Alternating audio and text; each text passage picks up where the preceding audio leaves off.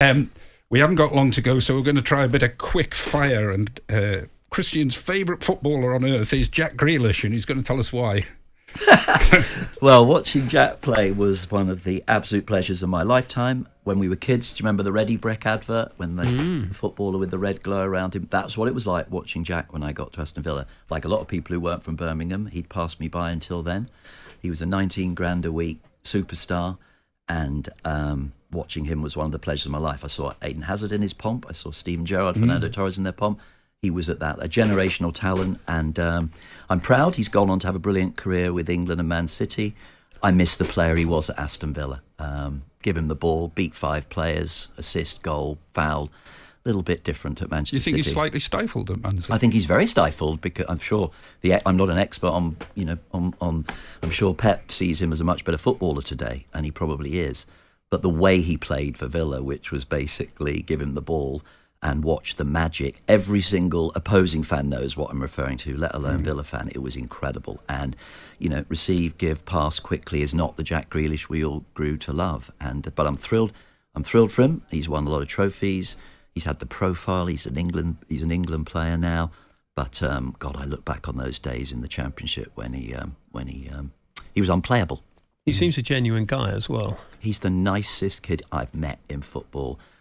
Often people aren't as they appear in public and private. He is 100% completely authentic and natural. Right. Uh, quickly, money for the EFL. When are they going to get it? I don't know the answer to that question. I thought they were going to get it a year ago when I was still in the room. Uh, I think we need to break the impasse, um, meaning I don't think any. I think if, if any people sitting on either side of that deal think that government or a new government have any appetite to sort out financial disputes between the Premier League and the EFL, they're wrong. Politicians are smart enough to know they don't want to be anywhere near the money issues, meaning Premier League and the EFL need to sort it. And in my opinion, the real beauty of the deal that's on the table is the Premier League and the EFL are going to do the media together because the Premier League are very good at it. The Championship have constantly undersold their TV rights. Having that under one management team in the Premier League is good. And in the long run, let's be frank about it, asking one set of billionaires in the Premier League to bail out billionaires in the Championship, that's not sustainable. That's charity. We need to grow the revenues of football in total and help the Championship in that cliff edge between the two divisions. Manchester United, can you have a co ownership between the Glazers and Ratcliffe? Well, in my old life, in the, in the in the financial world, I have to say the idea that a minority owner of any private company can have full control over the checkbook is a nonsense, and so none of us know the conversations that have happened between uh, Sir Jim and the Glazers around how it's actually going to work. But if on January the 1st next year, you know, Jim's team and Sir Dave Brailsford and very good management team, I'm certain they'll appoint turn up with a 150 million pound striker and 75% of that check's got to be paid for by the Glazers. How's that conversation going to go? Uh, doesn't seem to me to be a particularly stable ownership structure. I'm encouraged.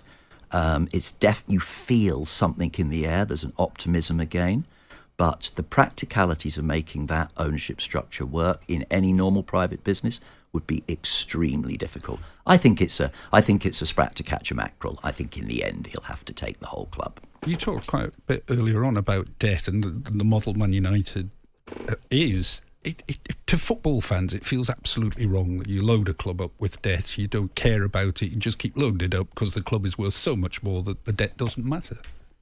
Well, it's a really nice way to end because the very start of this, you, you asked me about a subject I hadn't talked about for 15 years.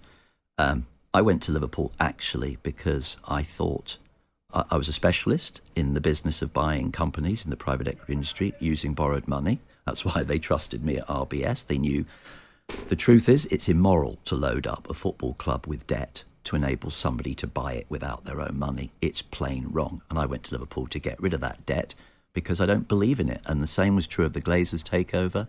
Mm. Um, you know, they put virtually nothing in to buy that club. They've just had a Effectively, the club's just been valued at five billion pounds for something that cost them virtually nothing. So it's an almost infinite profit.